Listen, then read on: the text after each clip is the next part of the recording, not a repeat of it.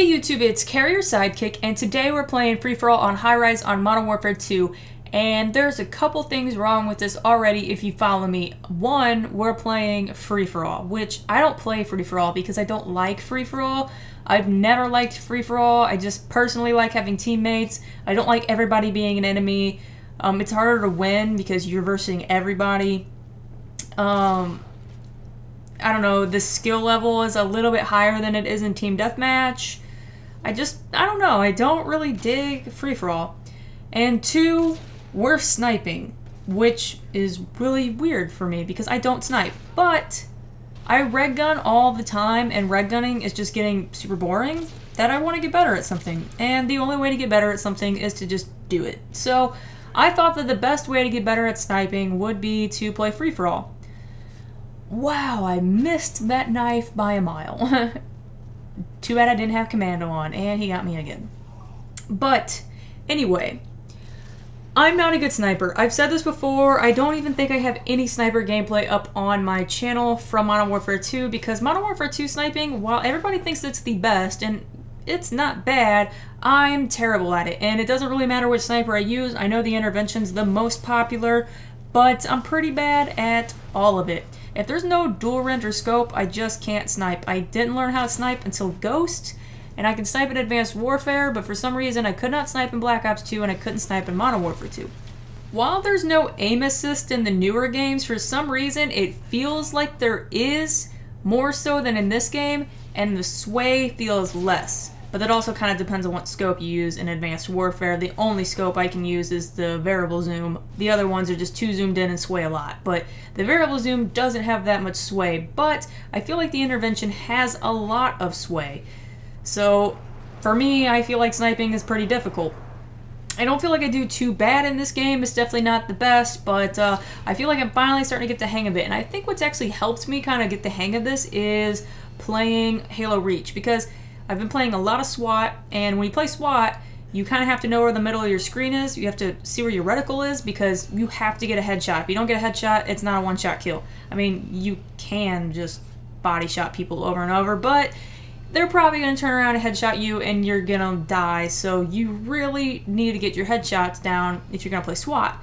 Well, I think that's kind of helped me play this game because, again, I don't really know where the center of my screen is, but since I've been kind of playing so much Halo Reach and trying to figure out where the center of my screen is, I think I'm getting better at knowing exactly where my bullet's going to go. So, one game's helped me play another.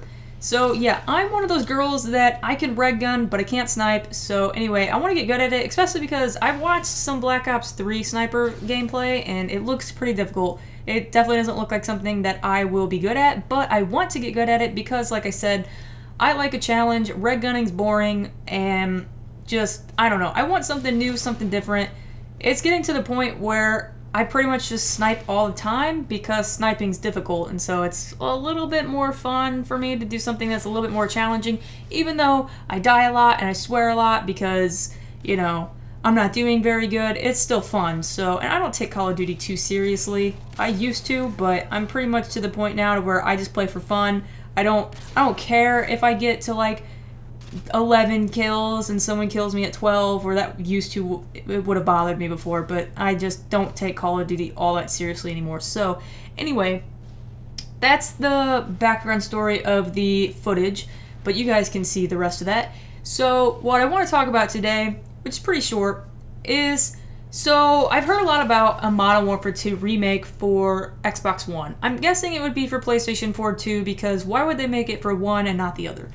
But I don't know if PlayStation 4 is backwards compatible. So if you guys know the answer to that, let me know. Can you play PlayStation 3 games on PlayStation 4? The only reason I don't know that is because I don't have a PlayStation 3 or a PlayStation 4, and so it doesn't really apply to me, but I would imagine you could because they're both Blu-ray, and I'm figuring that that is the reason why you couldn't play 360 games on the one, because one's a CD disc and one's a Blu-ray, and so that's what I'm thinking. Don't know if that's the exact reason, but now we have backwards compatibility coming to the Xbox One. So you'll finally be able to play 360 games on the Xbox One, which is pretty cool, especially because a lot of them you can just have like downloaded to your hard drive and you don't even need the disc, or you can put the disc in there. But So that makes me think, hey, will people start playing some of these games like Modern Warfare 2 more often? And if they do, do we need a remake? Or will they even make a remake because will enough people play it on the one even though it's the 360 version? So my question to you guys is, do you still want a remake or do you want a remake at all? Or would you be just fine with, you know, playing the 360 version on the one? I'm still fine with playing the 360 version, but it does seem like there's not that many players. Unfortunately, you can't see how many players are in the lobbies because at least on the 360 version, I don't know, it just says zero all the time on mine. I don't know if there's anybody's that works. Everybody I know though, they all say it says zero, so I'm kind of thinking that they just like took that down or something.